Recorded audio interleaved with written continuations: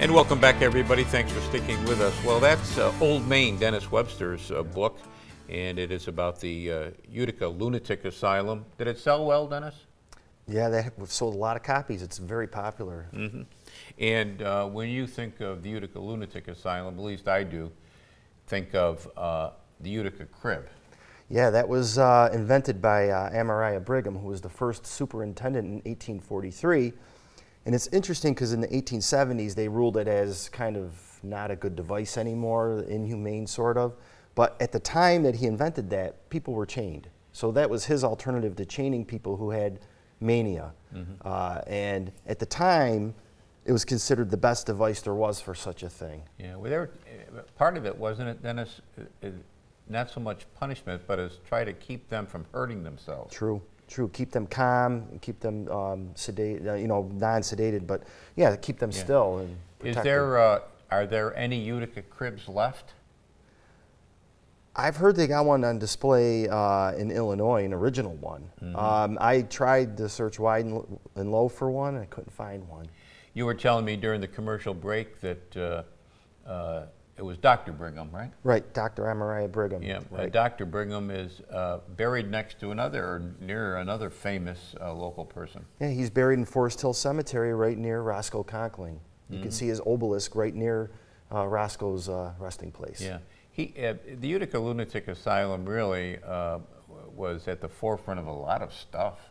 Oh, it was incredibly revolutionary. It was the first of its kind in the United States of America in 1843 Brigham brought in there what was called moral treatment.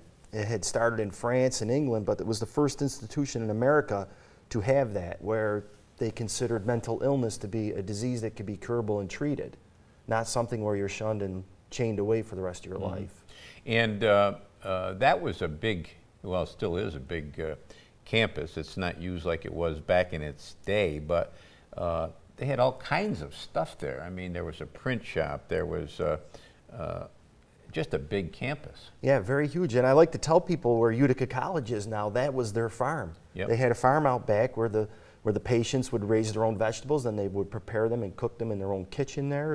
It, it was pretty amazing. And part of the moral treatment was having jobs. Mm -hmm. They had a mm-hmm. print shop in there. They did all sorts of different occupations as part if, of the therapy. If you're on Whitesboro Street and you're looking uh, at the front of, uh, well, it's had many names over the years. Yeah uh, the Utica Lunatic Asylum and the State Psychiatric Center and on and on.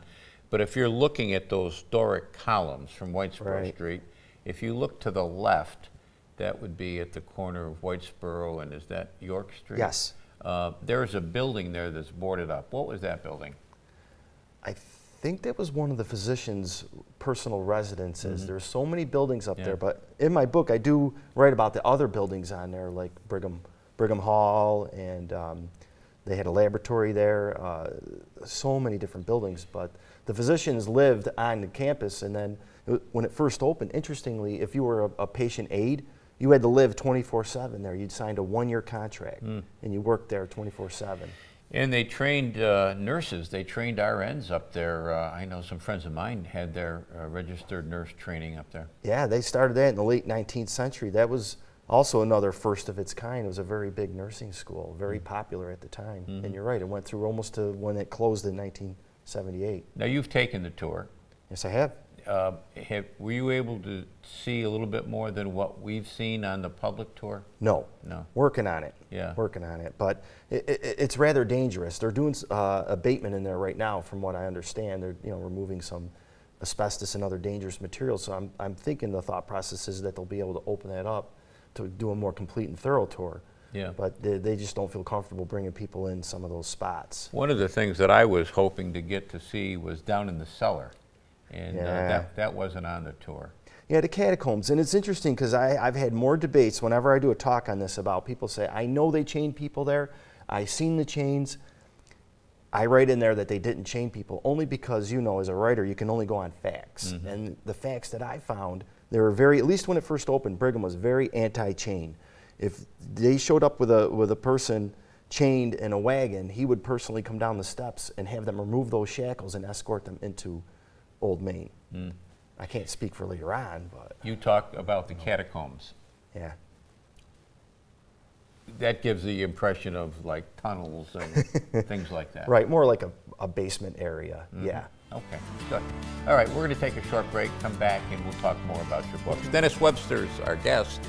Short break, right back.